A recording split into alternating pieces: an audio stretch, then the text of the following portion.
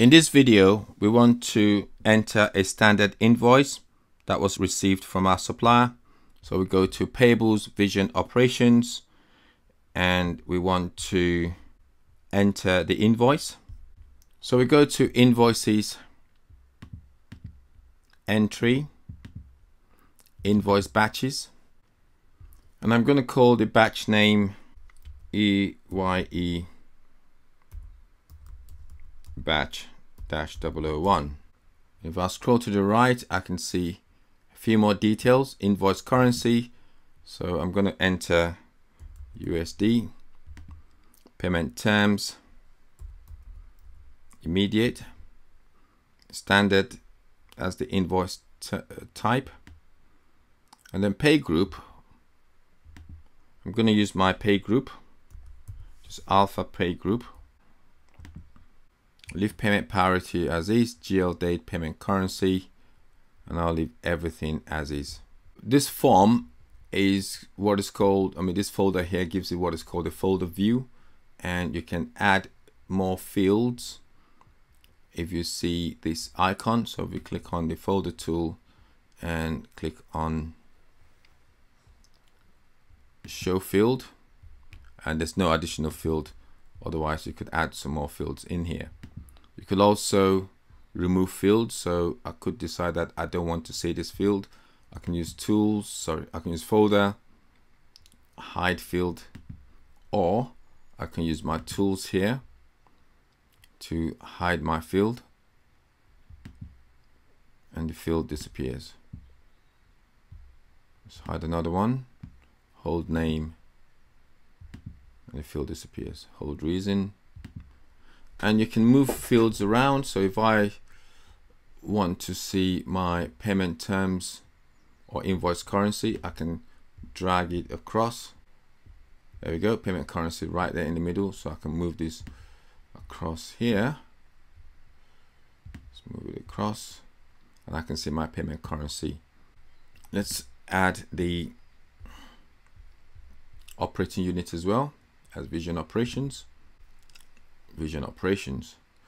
And if there are any other folders so you can actually open an existing folder. If there is some if there are some that are saved you can also save this folder view as well. So I'm going to save this and then I'm going to enter an invoice. So it's saved. I'm going to enter invoice. So let me close this folder view. Invoices so invoices for my vision operations operating unit and I'm going to enter my trading partner which is my supplier. Again this is also another folder view. It's giving me my supplier number supplier site all defaulted in invoice date. I will use today's date as the invoice date and then invoice number AS dash 1000 invoice amount 10,000 and in my description field I can enter description of the invoice. I can just say marketing materials and if I scroll to the right I will be able to see other information. See like my payment terms payment method have all been defaulted in for me. And if you scroll all the way to the end you can also see this thing here called a DFF descriptive flex field which you can enter additional information if required. So let's cancel that. That's just to show you save. So what I need to do now is enter the lines for the invoice and the distribution. So invoice will have a header, will have lines and also distributions. The counting is done at the distribution level. So I'm going to select line 2. So a line can have multiple distributions.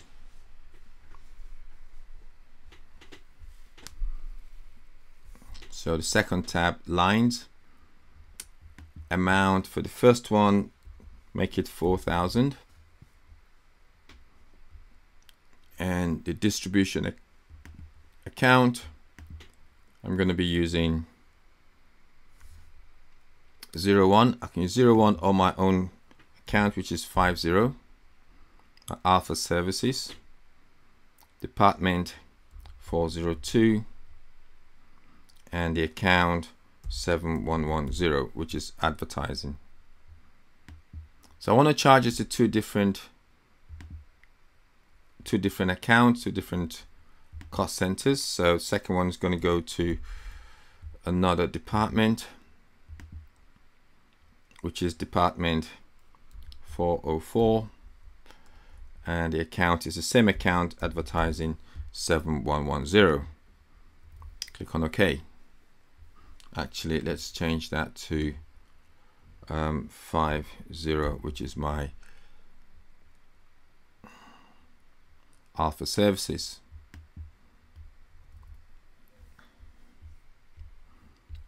save this and this distribution will be used for all uh, for this line and the other one for the other line. So I want to validate my invoice. So I'm going to click on actions, validate, click on OK. You can see that it's calculated the tax 10690. That's based upon my location. So I'm just going to amend this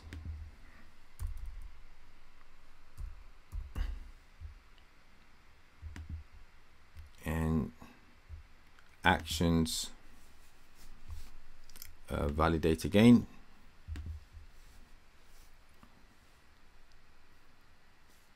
So now we can see that it's actually validated.